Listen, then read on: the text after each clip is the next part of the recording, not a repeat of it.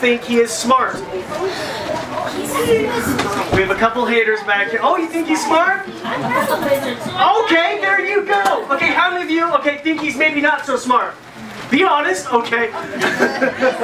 they are actually incredibly intelligent. Scientists say they're about as intelligent as a three or four year old child. So, raise your hand. Do we have any three or four year olds? Really? okay, you're all as smart as a lizard. Very good. Give it up for them, guys. Um, Hi, I'm Sonia Galavis. I teach at Garfield Elementary. I'm a fifth grade teacher here, but I'm also the STEM coordinator for the event. So tonight we wanted to provide an interactive STEM experience with family and school and community and industry. So there's 20 different community partners, all engaging, all hands-on STEM activities.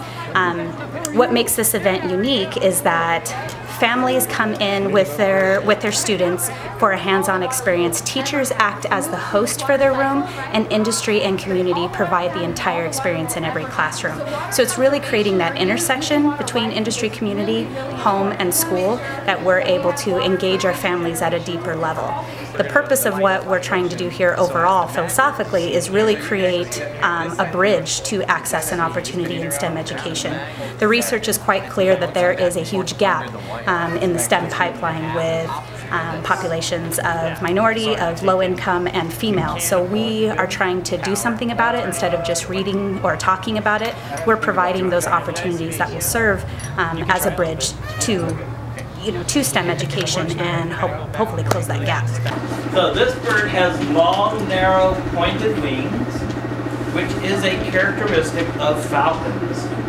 So all falcons have several things. One is these long pointed wings. From the smallest falcon, like this one, which is an American kestrel, this is the smallest falcon in North America, up to the largest falcon, which would be about this big, if I had it on my hand. Well, I, it looks like we've already exceeded our numbers from last year just from a rough count, it, I'm at over 400, it looks like, of, of families and students here tonight.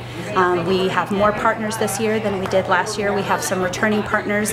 Um, Boise State University has been integral in this process. College of Education is here, physics department, um, various science departments are here.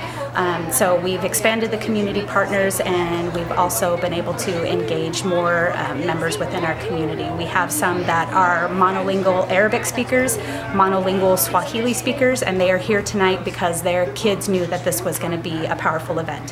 So about composting. These are our composting worms that we um, we feed our fruits and vegetables to, and it turns into compost for us to put on our garden. We have everything from quantum physics to the science of sound to how um, buoyancy works to paper making and the Treasure Valley beekeepers. Um, there is a wide range of life science and physical science.